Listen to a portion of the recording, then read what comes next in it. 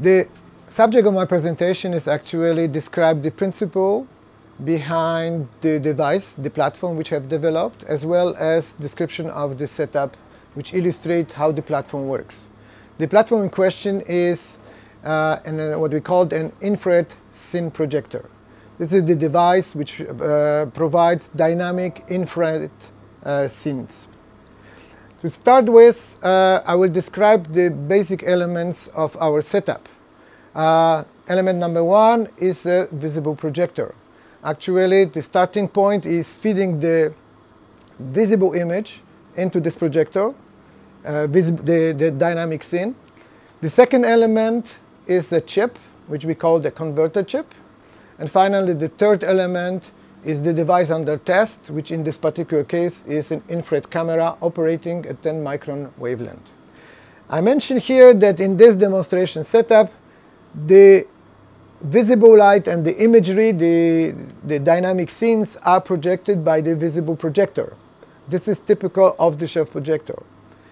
It is also possible to use other light sources. You can imagine using a laser which would shine on the chip Again, on the same principle, would hit individual pixels.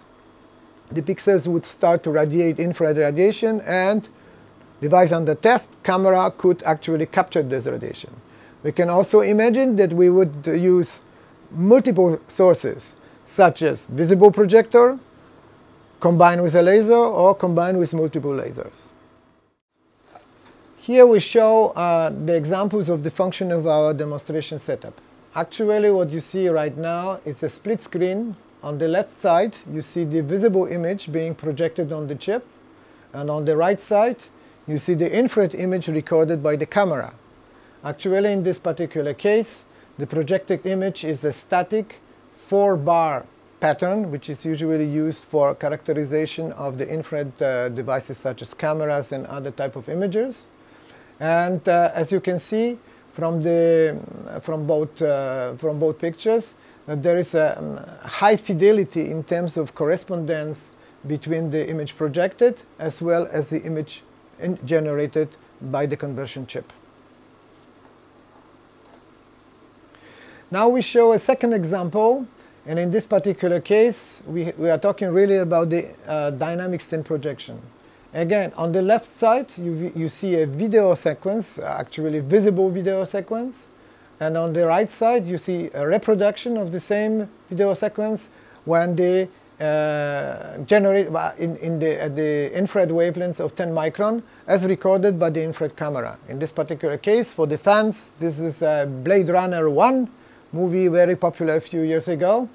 Again, you can enjoy the visible image on the left and the uh, infrared image on the right. The second sequence uh, show uh, a little bit a different scenario. Actually, the image being fed into the visible projector is the image recorded in the infrared. So actually, we see a conversion of the image recorded in the infrared. Now it's being transformed into visible image. In the visible sequence, visible image is being projected on the chip. And the chip again is transforming it basically from the visible to the infrared.